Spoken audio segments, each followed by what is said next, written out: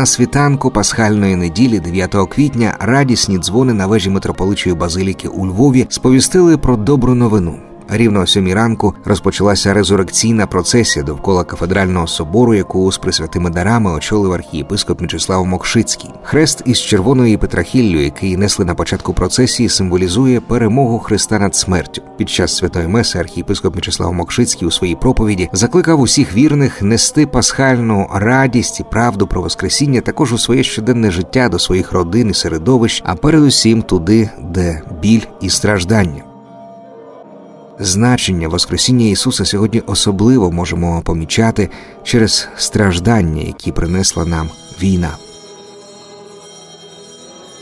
Незважаючи на війну, яка триває, в цей день Великодня ми хочемо повторювати слова Воскреслого Ісуса і закликати мир вам, що воюєте на сході, мир вам, хто живе серед руїн своїх домівок, мир вам, що оплакуєте своїх близьких, миру тобі, Україно.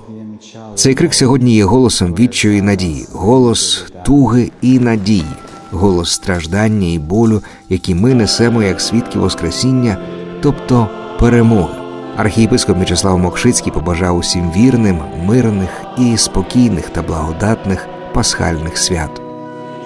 Dziękujemy, dziękujemy za życzenia. Życzę Wam radosnego Alleluja, smacznego święconego i pokój Tobie, Ukraino.